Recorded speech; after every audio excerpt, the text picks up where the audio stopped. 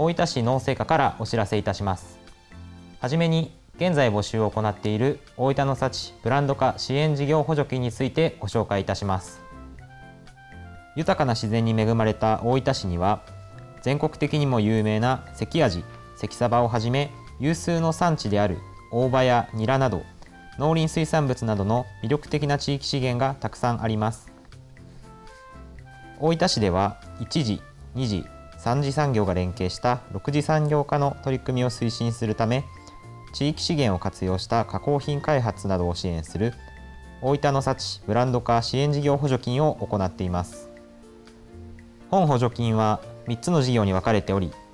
調査研究や商品開発に向けた試作品の開発を支援する研究開発支援事業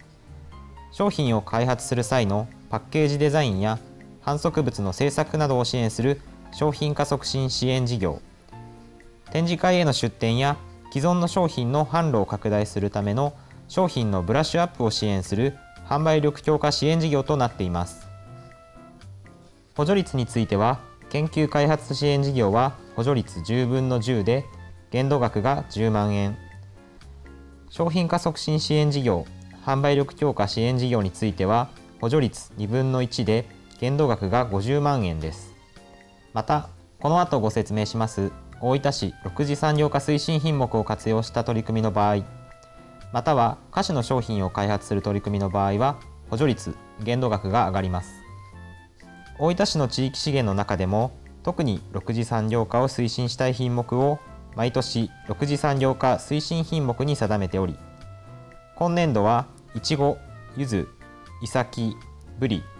大葉、三つ葉、せり、パセリの8品目を推進品目として設定しています。事業実施までの流れについてご説明します。まずはじめに補助の対象となるかどうかの事前相談が必要です。農政課へお越しいただき事業内容の簡単なヒアリングや注意事項の説明を行います。問題なければ事業計画書を付して大分市へ計画の認定を申請し審査を受けます。事前相談の締め切りは5月24日火曜日。申請の締め切りは5月31日火曜日なのでお早めにご相談ください。計画認定後は交付申請を行っていただき市から決定通知を行いますので決定のあった日から事業を実施できます。補助金の概要について不明な点などございましたら農政課までお問い合わせください。また市ホームページでも補助金の内容をご覧いただけますのでサイト内検索で大分の幸と入力してご覧ください。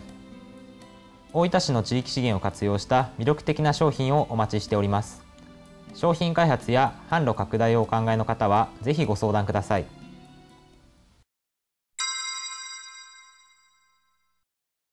続いて大分市産農林水産物中食外食等活用促進支援事業についてご紹介いたします。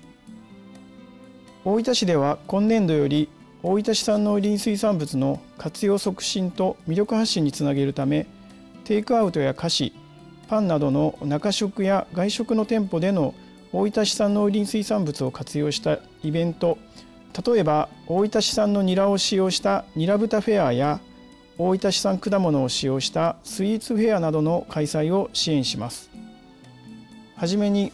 補助金の対象事業は中食外食の店舗で開催すること。後ほどご紹介する中食外食等活用推進品目を使用すること。常設の店舗で開催することなど5つの要件を全て満たすものに限ります。また補助の対象者はイベントの主催者共催の場合はどちらか1社となります。次に中食外食等活用推進品目をご紹介します。農産物としては大葉、ニラ、三つ葉などの全国でも有数の産地を誇る野菜や柿やイチジクなどの果物、しいたけや牛乳などです。また水産物はアジやサバ、ブリなどでいずれも原則として大分市産のものに限ります。続いて補助対象経費補助率補助金額についてご説明します。